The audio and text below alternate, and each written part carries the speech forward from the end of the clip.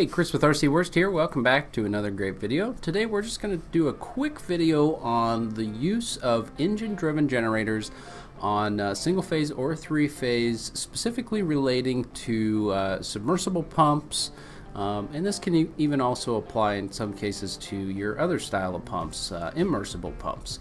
But primarily today we're talking about submersible well pumps. Um, so just be sure that um, you do take use when you're, or take care when you're working with electricity, obviously, uh, as it can be dangerous. So let's jump right into things. so the two types of generators that are available on the market are going to be externally regulated generators and internally regulated generators.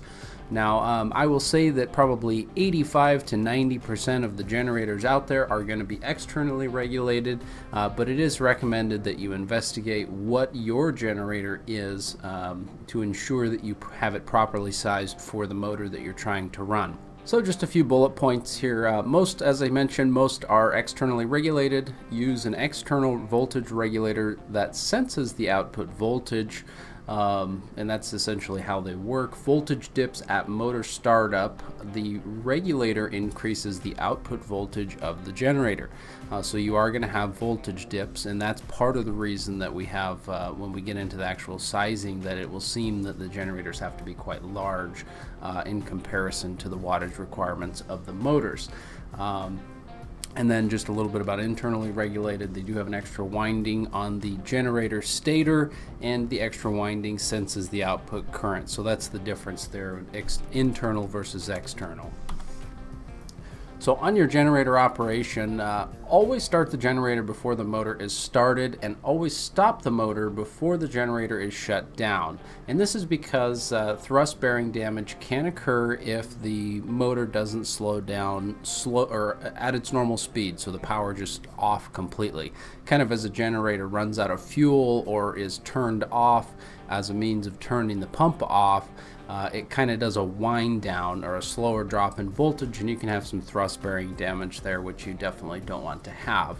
Uh, I would definitely follow the generator manufacturer's recommendations for derating uh, at higher elevations or if you're using natural gas there is some differences there. So the table on the right here, it is going to list the generator sizes based on uh, your standard continuous duty rated generators and the acceptable is a 35% maximum voltage dip for starting. But uh, gen general rule of thumb is if you're using this chart and your generator is uh, sufficiently sized, you should more than be capable of starting up that motor. So generally speaking, generators must be sized to deliver at least 65% of the rated voltage during starting to ensure adequate starting torque. So that's the important factor there. Uh, besides sizing, generator frequency is important uh, as the motor speeds the motor speed varies with frequency. And uh, this this has a lot to do with the affinity laws, where even just a slight one or two hertz frequency change is going to potentially change the performance of your pump. And where you can run into issues here is if you're too far under, it could impact the maximum shutoff head of your pump and it might not build up sufficient pressure if you're operating off of a pressure switch or something similar. Um, so that's going to have a direct impact on performance. Finally, so as we talked just briefly about the chart on the right hand side, this is from the Franklin Electric AIM manual. It's a book that I've talked about quite frequently and it can be found on our website under practically any Franklin Electric product. Uh, because it's very useful. And so you've got your externally regulated on the left hand side of there and the internally regulated on the right hand side and you can see your sizing requirements do differ and that's where it is important to know what you've got especially when you start to get into those larger motors. You can see that gap starts to really widen there. Uh, for example on the seven and a half horsepower uh, it'd be a 20 kilowatt externally regulated but only a 10 kilowatt internally regulated. So some pretty significant differences um, so just be aware to pay attention to that. And then I suppose one final note is this chart here that we, we are showing applies specifically to three wire or three phase motors. Uh, if you're using a two wire motor, you actually have to go with a 50% larger generator than the chart shows here.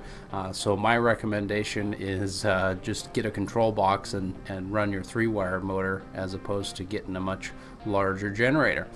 So that's about it. We're going to wrap up here. If you have any questions about selecting the right size pump or motor or verifying if your generator is the right size to run what you want to run, uh, feel free to get a hold of us on some of those questions or you may have to default to the generator uh, manufacturer for some of those questions. But we're certainly willing and happy to help you out. So don't, uh, don't forget to like and subscribe for more great content and we will catch you next time.